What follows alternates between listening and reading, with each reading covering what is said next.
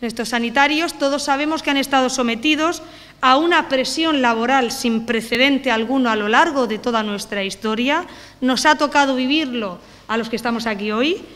y eh, pues ellos se han visto obligados a duplicar sus jornadas laborales, a desplazarse, a renunciar a sus vacaciones en muchísimos casos y, en definitiva, todos nuestros sanitarios han tenido que afrontar en primera línea de batalla una terrible guerra, una brutal eh, batalla contra esta pandemia.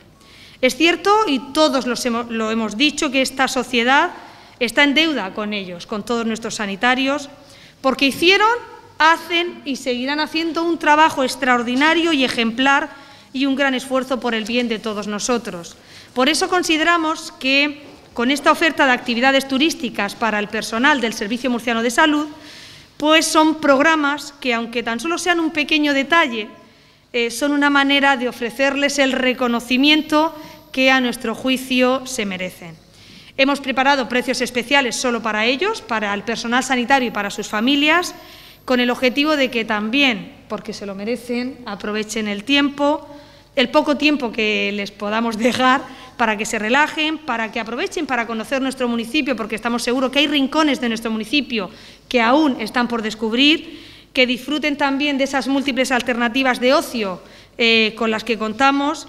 e incluso los propios sanitarios cartageneros pueden aprovechar estos paquetes para vivir experiencias diferentes, como por ejemplo un bautizo de mar, que es tan atractivo y que a la gente eh, les puede llamar mucho la atención, una visita al patrimonio minero o una ruta sobre las leyendas de Cartagena entre múltiples, entre muchas opciones. En total,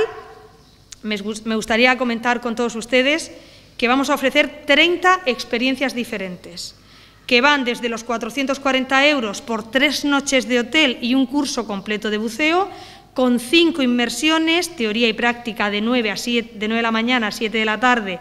a los 5 euros por una visita guiada a la mina de las Matildes.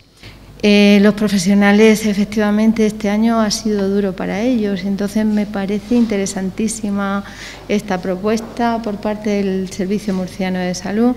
y queremos agradecer la acogida que ha tenido en el Ayuntamiento de Cartagena con todas estas propuestas que la alcaldesa nos ha relatado y que ayudarán, por un lado, a mejorar la calidad de, de, nuestros profesionales, la calidad de vida y por otro lado también eh, nos pueden ayudar a demostrar que manteniendo las, medidas de seguridad todos podemos avanzar. Ella lo ha dicho, el coronavirus está ahí. Eh, tenemos que encontrar el equilibrio de esta nueva normalidad en los centros de salud y en, en los hospitales del Servicio Murciano de Salud. Vamos avanzando y creo que en la calle, en el turismo y también tenemos que avanzar siempre recordando dónde estamos y qué es lo que nos ha traído esta pandemia y sabiendo en todo momento eh, sacar la parte positiva que, haya podido tener o sobre todo el aprendizaje que nos haya dejado. Este proyecto es la, el inicio, pero también la culminación de aquellos aplausos que salí y salíamos a dar a las 8 de la tarde un proyecto que engloba desde bienestar físico, bienestar emocional, bienestar social y una parte de ocio y tiempo libre. Esa parte de ocio y tiempo libre es la que hoy presentamos aquí. ¿Y cuál es la idea? De poner todos los recursos de la región y convertir a los 28.000 trabajadores y trabajadoras del Servicio Murciano de Salud en los mejores embajadores, en este caso de Cartagena. Mirad,